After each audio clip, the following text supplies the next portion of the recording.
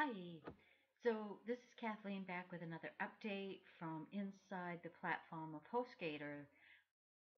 When you go to set up your email, follow along with Mark and Jaden's instructions. But when you're in here and you're on your hosting tab,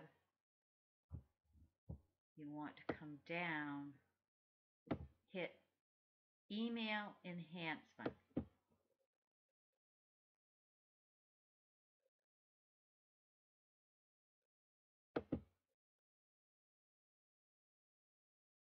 This will take you to where you're going to put in your new email account.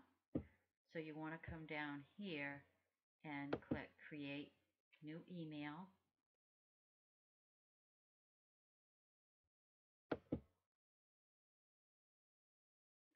This line here is where you're going to put in contact and then make sure that your website is the one that you want over here. And instead of unlimited now, you have to put in, I put in 999 to make it as many megabytes as I could, um, just to make it that unlimited factor because everything goes in, the quota is in, in megabytes now. Doesn't give you the option for unlimited. Then create your password and then hit create account. Then after you've done that, let me see here. Let me just go to one and make make one up here too.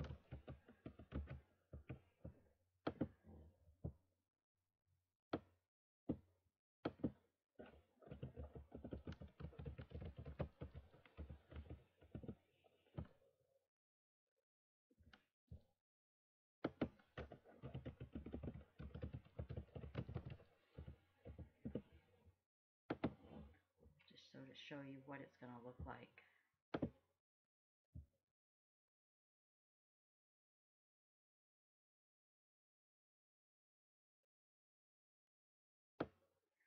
So now it shows you that you have successfully created that email account.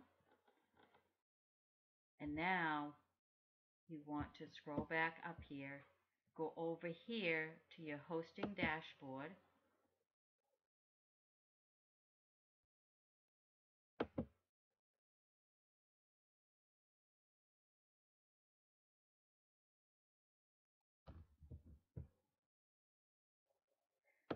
now you're going to scroll back down.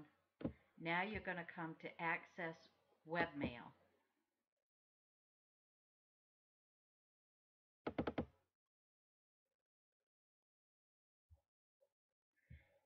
And you're going to have to log into that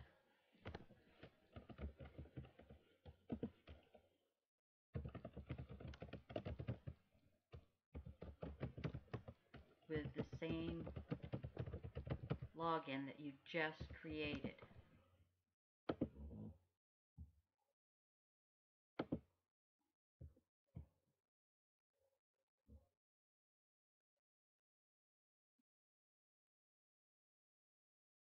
And this is what it's going to look like. So now you're at this Horde here, which is what uh, Mark and Jaden recommended. So you set that as the default. You scroll down and you put in the email of the account where you want it to send all that information up above.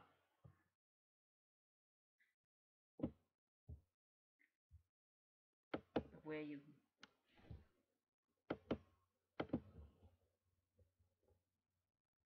Now, when you do this, it's mine went to my spam mail. So it goes immediately. It will email this to you immediately, but um, do check your spam mail because I found that found that mine went right directly to spam. So um, there's your update for today. Have a great day.